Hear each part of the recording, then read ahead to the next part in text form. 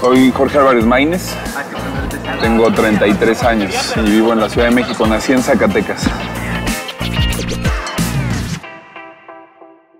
Zacatecas, que hasta hace unos años era un lugar pues, excepcional para crecer, crecías en condiciones de tranquilidad, una ciudad muy especial. Quizás todos pensemos eso en nuestras ciudades, pero la mía es muy especial. Sí.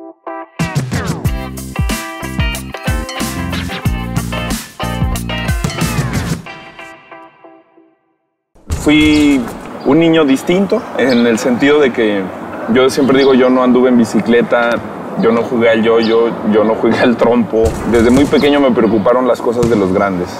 Como siempre fui aprensivo, siempre fui yo creo que obsesivo, lo sigo siendo. Afuera de mi casa teníamos un tablero y todos los días me salía a tirar 500 tiros diarios. El deporte era una de las maneras que me permitía aclarar la mente, cansarme, relajarme.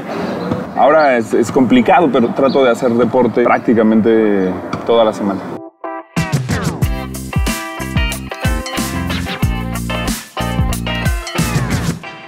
Desde que llegó Luciano, las cosas se ponen en perspectiva. La verdad es que es una manera de repensar la vida.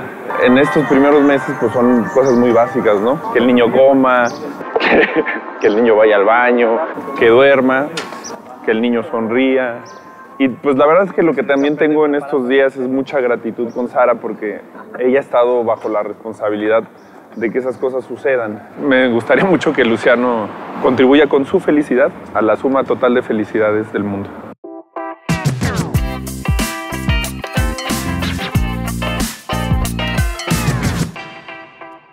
Siento que me tomo menos en serio de lo que se toman los políticos a sí mismos. No, no es gordita.